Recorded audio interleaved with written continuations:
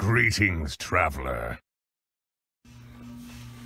Hey losers that like free things, it's your boy, Calicko Kitty, and I'm here to announce the the winner of the giveaway of the shirt. Ooh. So, there was only one entry, but I understand you guys really wanted this one person to win, so you didn't, so, and you didn't really care about it, so you let them win, because I know you're all nice people, that's why you're subscribed to me, a fellow nice person.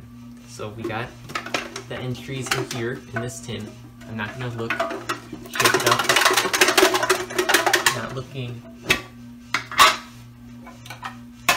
And the winner is Project Cancer. Get a zoom, zoom. Congratulations on winning the giveaway. I'll have to get your address and shirt size. I'll get it to you by the end of the month. And not only that, since I thought just the shirt was kind of lame, I also got a signed, this signed Feebas from Dragons Exalted signed, and it says KYS retard, and it has a picture of me. This is all me. I'm a Feebas.